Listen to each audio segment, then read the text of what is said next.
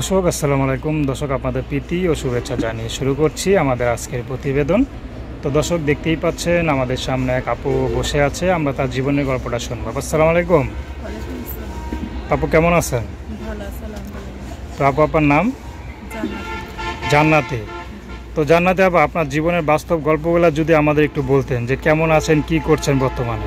বর্তমানে অনেক কষ্ট আছে অনেক কষ্ট আছে। একটা মেয়ে আছে মেয়েটাকে অনেক কষ্ট আছে। চলতে ফিরতেও কষ্ট হইতেছে। একটা প্রতারককে ভালোবাসলাম। দেখে শুনে বিয়ে করলাম। বিয়ে করার পরে অনেক কষ্ট যন্ত্রণা দিয়ে চলে গেল ফাঁকি দিয়ে। আচ্ছা তো যে আপনি বললেন যে আপনার কষ্ট দিয়েছে ফাঁকি দিয়ে চলে গিয়েছে আপনার স্বামী।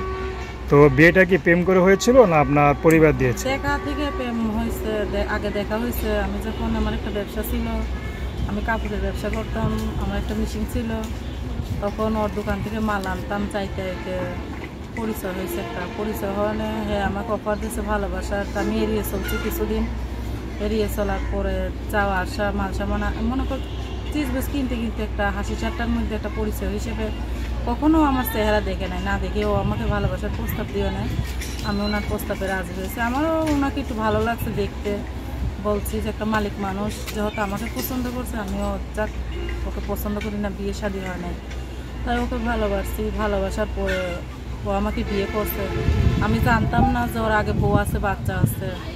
তারপর আমি বিয়ে বইছি বিয়ে বসার পরে কিছুদিনও আমার সাথে সংসার করছে এক বছর খানে।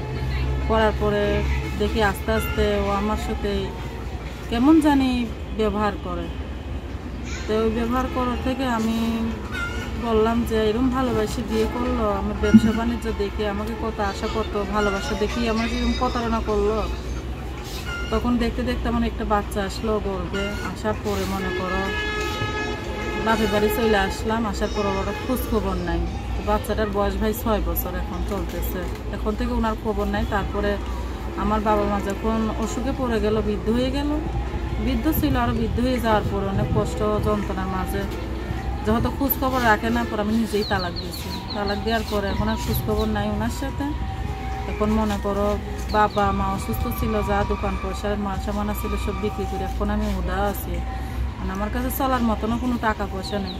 তা মাই আছে মাদ্রাসা দিছি সেরকম টপিক নাই পড়াবার। যদি কোনো ভাই আমার জীবনে আসতো তাও জোয়ান মানুষের কাছে আর বসতে চাই না, এরকম প্রতারণা খাইতে চাই না। যদি কেউ আমাকে বিয়ে করতে চায় সরাসরি আসে এসে আমাকে করতে পা আমি বিয়ে বসবো। আমার সব কিছু জানি না শুনে যে বিয়ে করবে আমি তার কাছেই বিয়ে বলব কিন্তু একটা বুড়া লোকের কাছে বলব ভাই আর ইয়ং ছেলের কাছে বিয়ে বসতে চাই না। আচ্ছা তো এই যে আপনি এই যে মানে বোরকা পরে কেন আসেন একদম নামাজি স্টাইলে কেন আছে ভাই? আমি পাঁচ ওয়াক্ত নামাজ পড়ি কোরআন পড়ি রোজা থাকে। আচ্ছা। তো আপনার বাবা মা কি নামাজ কালাম পড়তো? হ্যাঁ আমার বাবা মা মানে একটা ধর্ম ভীরু মানুষ আপনি নাকি? পরিবারের মেয়ে? আচ্ছা ইসলাম ধর্মের ধর্মের ভীরু মানে মানে পরিবারের মেয়ে আপনি? হ্যাঁ। আচ্ছা তো আবার নাম কি বললেন? জান্নাতি ভাই জান্নাতি আবার বা নামও তো মিলে রাখছেন একদম জান্নাতি খুব সুন্দর নাম। আচ্ছা তো আপনার বাবা মা নাই কেউই নাই এখন? না আমার বাবা তো মনে করেন আজকে তিন বছরের মারা গেছে আর মাটা মারা গেছে ছয় মাসে। এই যে একটা কাপড়ের ব্যবসায়ীকে বিয়ে করিয়ে দেখ আমি সুখ হলো না আর কি? তো এখন আপনার একটা সন্তান নিয়ে কোথায় আছেন? এখন আছি ভাই দেশের বাড়ি জায়গা আছে ভাই ঘর তোলার সেই সামর্থ্য নাই যে একটা ঘর তুলে থাকতে পারব দুশতক জায়গা আছে বাপের ভিটা আচ্ছা তো সেখানে ঘর আছে নাকি নাই? ঘর নাই আমরা তিন বোন একটা ভাই। ভাই বিয়ে করে ভারতে থাকে বোনই ভারতে গেছে খোঁজ খবর রাখে নাই। তিনটা বোন দুইটা বোন অন্য জায়গায় বিয়ে হয়েছে বোনটা মাঝে মাঝে যদি একটু খোঁজ খবর রাখে রাখে আর না রাখলে তো নাই এখন বাপের যেটুকু জায়গা আছে। জায়গার মধ্যে যদি কোনো ভাই আমাকে ঘর একটা সাপটার মতন তুলে দিত তাকে আমি বিয়ে করতাম। আচ্ছা আচ্ছা তো তাকে আপনি বিয়ে করবেন। মানে এখন আপনার বিয়ে করার আবার ইচ্ছা আছে? আছে ভাই আমি তো জোয়ান মানুষ আমি তো আর বুড়ো হয়ে যাই না একটা বাচ্চার মা। আমারও তো আশা আছে কিন্তু ভাই আর জোয়ান মানুষের কাছে বিয়ে বসবো না। বসলে একটা বৃদ্ধ লোকের কাছে বিয়ে করব। আচ্ছা তো আপনি তো পাঁচ অক্ট নামাজ পড়েন জি নাকি ভাইয়া পাঁচ ওয়াক্ত নামাজ কালাম তো এখন কি আপনি নামাজি ছেলে বিয়ে করবে নাকি অনেক আছে তো নামাজ ঠিক মতো পড়ে না বা নামাজি ছেলে বিয়ে করব নামাজি ছেলে ছাড়া বিয়ে করব মানে ইসলাম ভীরু যদি ওয়াক্ত নামাজি ছেলে পান। ইসলাম মানতে পারে আমি সেরকম একটা কাছে সেমন ছেলে মানে তেমন একটা ছেলে পেলে আপনি বিয়ে করতে রাজি আছেন? জি।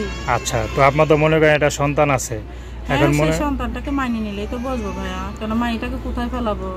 যার বাপে বাচ্চাটাকে আমাকেই ভালোবাসে নেই তার বাচ্চারা কি ভালোবাসবে? সেটা তো একটা মৃত্যু বাদ পার সে তো বিয়ে করছে আরেকটা। মানে না জানাই বলছে যে আমি বিয়ে করি নাই।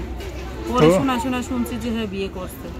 তো সেই আপনার হাজবেন্ড কি আপনার বা আপনার মেয়ের সন্তানের আর কোনো খোঁজ খবর নেয়? জি না কোনো খোঁজ খবর রাখে না কি রাখবে ভাইয়া? সে একটা তুই আরেকটা বিয়ে করলে সে আর কার খোঁজ খবর রাখে? তো আপনি কি বড় বউ না ছোট বউ? আমি শুধু আপনি ছোট।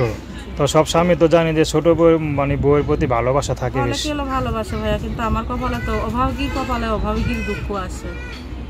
আচ্ছা তো এখন আপনার সাথে যদি কেউ যোগাযোগ করতে চায় কীভাবে যোগাযোগ করবে? আমার একটা নাম্বার আছে নাম্বারটা দেব।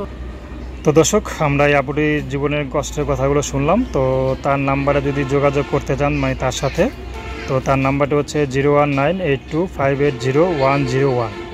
আমি নাম্বারটা আবারও বলছি, zero one nine eight two five eight zero one zero one. তো এই নাম্বারে ফোন দিলে আপনার এই আপুটির সাথে কথা বলতে পারবেন। তো দর্শক, আজকে এই পর্যন্তই। আল্লাহ হাফেজ।